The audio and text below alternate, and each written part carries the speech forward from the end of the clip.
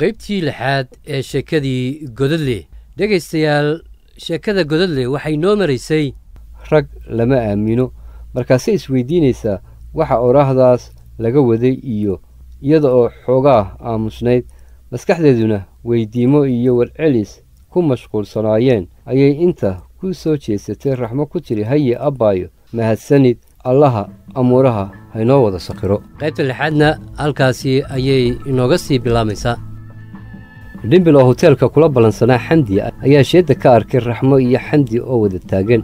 Waa uu rumaysan waayey isha ayuu mar labaad ku celiyey mise waa labadoodii oo uu midna hilmaamay midna uu meesha kula ballansanaa waa aamini waayey misena inta uu istaagay ayuu qooraansaday mise dadku waa iyagii laftoodii. Waxa uu u qaatay in ay horay isku yaqaaneen oo ay hadda isaga iska waraysanayaan oo uu halkaasi ku kashifmo inta fadhigii si deg deg ah uga istaagay ayuu hoteelka laababkiisa mid ka mida galay isaga oo go'aansaday inuu labadaba liifadda u gaabiyo inta uu xaalku degayo.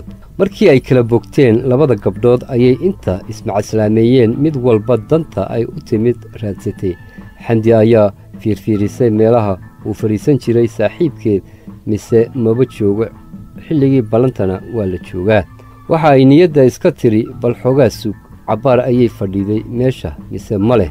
Markii ay saacado badan sugaysay sharqanna u bix weyday ayay isaga tagtay. Waxayna abbaartay gurigeedii.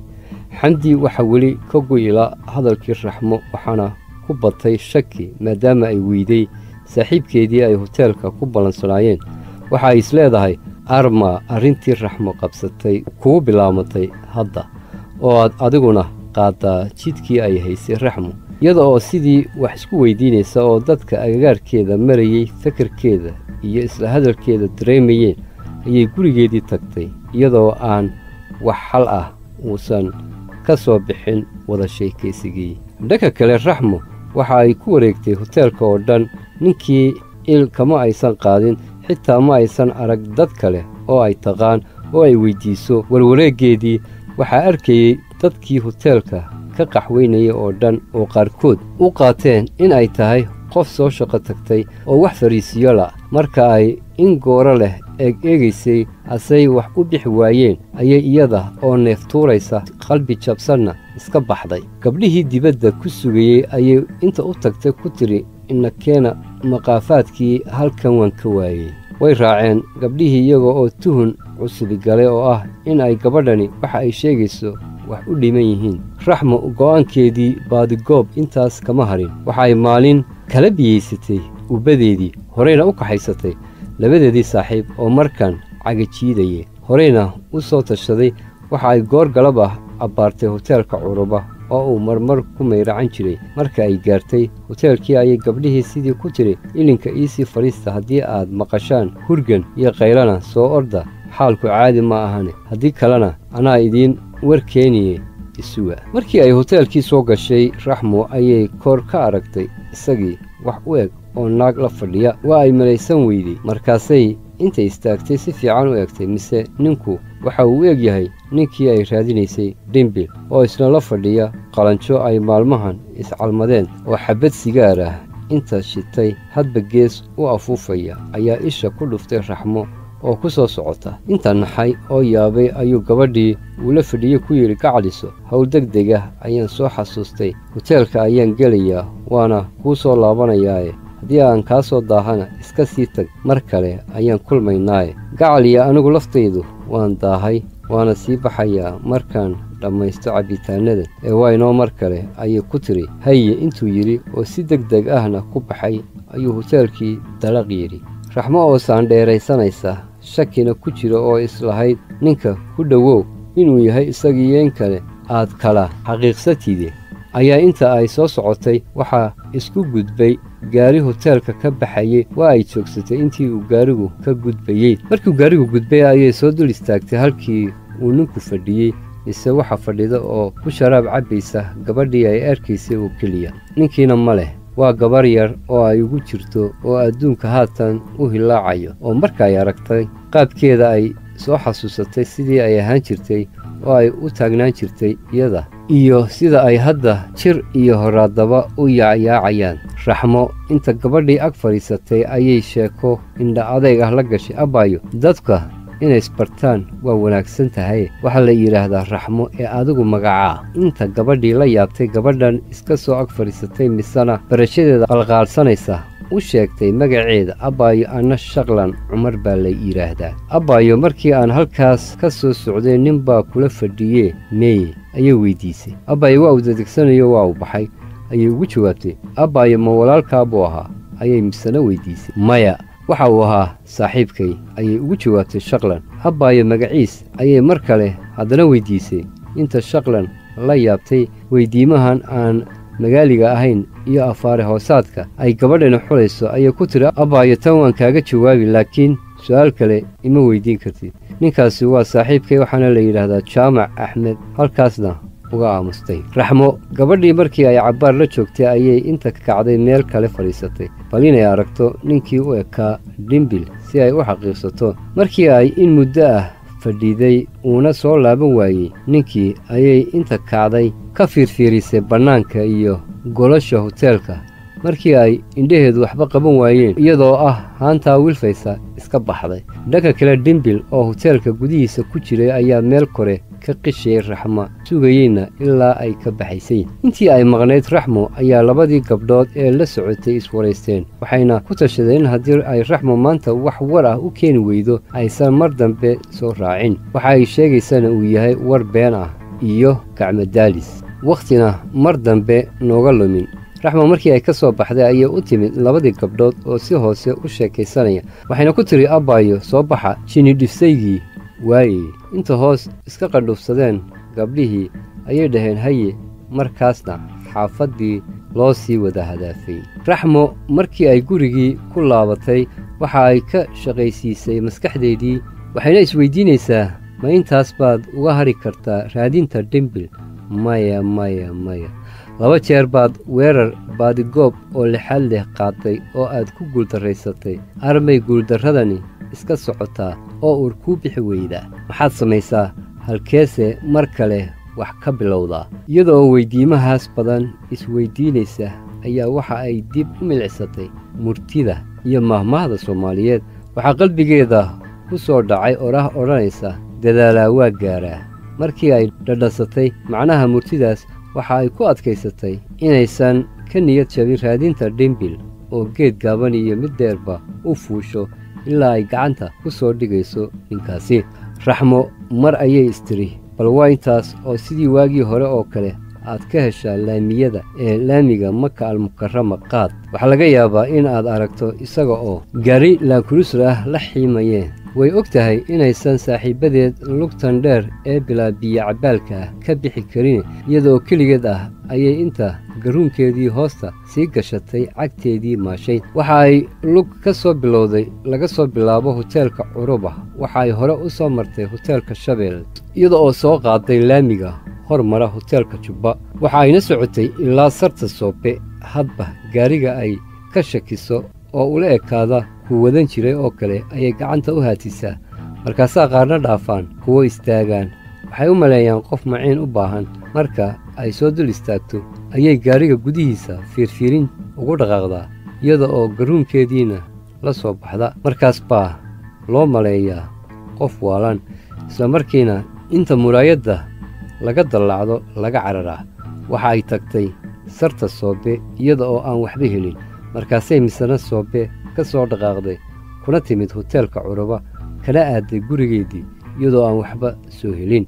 Cagihiina ay soo dildillaaceen kaaga sii darane waxay ahayd maaj bisha xamar ugu kulul.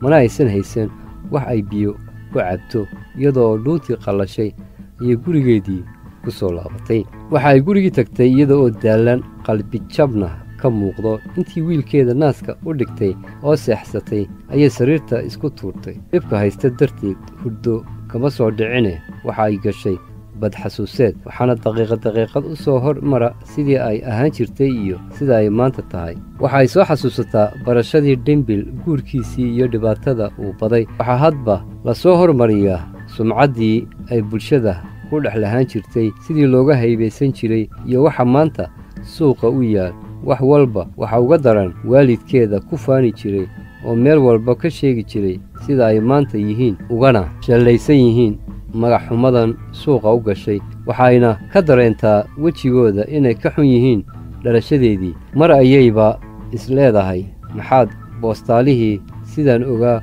kuu soo doonay oo kuu sharfay u guursan weyday maanta waxaan kuguma dhaceen iyada oo ka qoomamaysay taladii saaxiibteed shamso iyada oo gamila badahaas xasuusteedna dhex jibaaxaysa ayay bilowday in ay ka shallayso fudaydkeedii hore allana ka bariday in uu xaalkeeda furdaansho iyada oo mararka qaar ku celcelinaysay erayadan calacalka ah. Adduunyadu waa kadeed iyo waxa yaal kurbiyo hoog anigoon kaskaygiyo caqligaygu kobac gelin. Kolhoraadkii sannadkan soo wiil kubaysani kaftan ilama soo gelin. Kixkixdiiyo ciyaartii hadba kulanka meel wacan kama koobin sheekadii. Aniga oon ka filayn guri uu kiraystiyo niman meesha kuduuday qolkadeedan ima geyin nikaax kadiisa iguma xihan deedna meeluu kobihiyo kob uu jaaniyo cirib dhigay raankay ma daydayn. Hadda soo kurbiya ciil keligay kuma noqon. Saaxiibbaday kurtood iyo kulli ehelkii kama goyin kariimow allahayow kaaba kale ma haystee? Ka shifo wixii dhacay iga fayd kurbadan ba'an fadhowma yaallee iyada oo erayadaasi ku celcelinaysa ayaa waxaa ku soo dhacay hoteelka weheliye oo uu marmar aadi jiray. Markaasay maanka iska tidhi galabta halkaas ku dhardhaar waxaa laga yaabaa in alla keenay iyadoo aan weli nasan ayay hoosta ka xariiqday in ay hoteelkaasi foodda saarto. Waxa ay u cidirsatay labadeedii saaxiib kolkaasay u imaan waayeen inta aadday ayay lug guryahoodii ugu tagtay. Waxay weyddiisatay in ay galabtana raacaan oo ku weheliyaan duulaan kale oo ay qaadayso kuna wajahan hoteelka weheliye. Laakiin markan waa ay ka diideen waxayna dhaheen abbayo laba jeer ayaannu ku raacnay waxaan lugooyo ahaynna kaamaanaan keenin. Marka abbayo waxaan jirin hanagu lugoyn haddaad aadayso adigu aad. Haddii aad dad ku raaca u baahan tahay gabdho waa badan yihiine kuwo kale kaxayso raxmo hadalka gabdhahan waa ay ka naxday laakiin waxba uma dhimin. Ee keligeed ayay eebbe tawakashay. Waxa ayna isku sii daysay hoteelka ma aysan haysan waxay gaari ku raacdee cagteeda ayay maashay. Waxaay sii wedhwedh tidhaahdaba waxa ay iyada oo noogsan isa sii taagtay hoteelkii. Markii ay ridda sii gelaysay ayaa aragtay xandi oo luudaysa oo diif iyo dacdarro ka muuqato oo hoteelka ka soo baxaysa. Xamdi soo ma ahan. Ayay inta raxmo. Gacan qaaday weyddiisay haah abbayo waa iyadiiyo ii warran iyadoo aan weli hadalkii ka bixinna sii daba dhigtay abbayo weli ma ninkii baad goobaysaa mise si kale ayaad halkan u timid?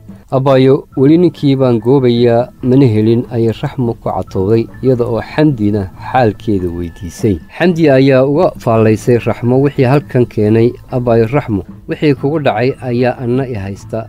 Ninkii waagii aan kuu sheegayey ayaan hadda u leeyahay lix bilood oo uur ah. Ilaa maalintii aannu ku kulannay hoteelka jubba sidii uu iiga gooyey ayaan ilaa hadda u la'ahay. Meel uu jaan iyo cirib dhigayna ma aqaan. Hoteellada ayaan ka raadraadiyaa haddana hoteelkan ayaan ka soo raadiyey. Waanan ka waayey. Haatanna gurigii ayaan u sii lugaynayaa.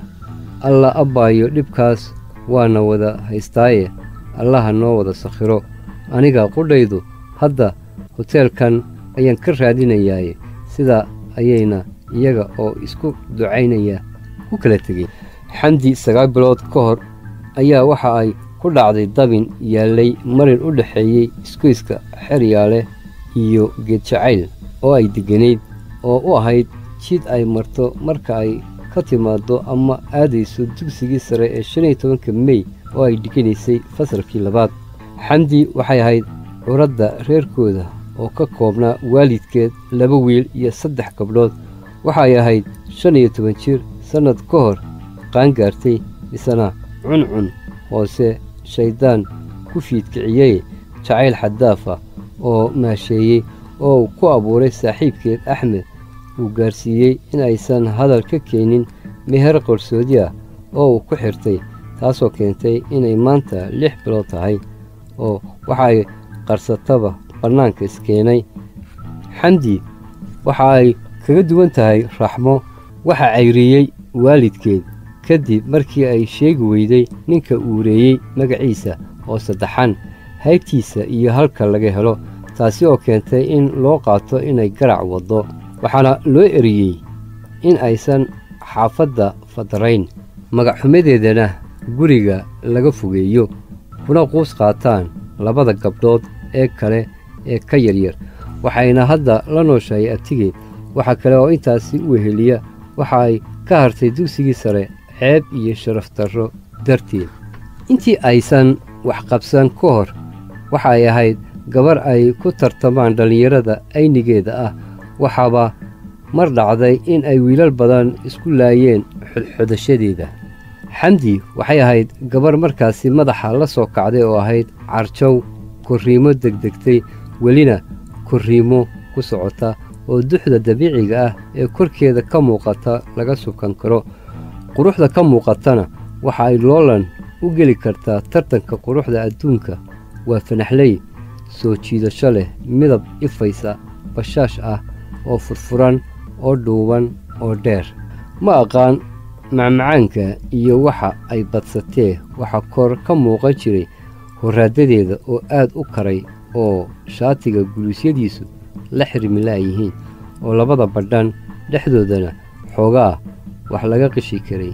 Surwaalka ku dheggan marka la eegana wax badan ayaa laga sawiran karay taasoo keentay in markii ay dugsiga aadayso ama ka tegayso ay rag badan oo aan iska warqabin daba galaan timaha madow ee jilicsan ee dherarka badan iyo wejiga guduudan lagama yaqaan gabadha makhabiyaadka ah ee guryaha xamar weyne ku oodan waxaa laga dheehan karay labiskeeda iyo nolosha ka muuqata inay ka soo jeedo qoys barakaysan oo adduunyadu gurigooda ay ugu timid.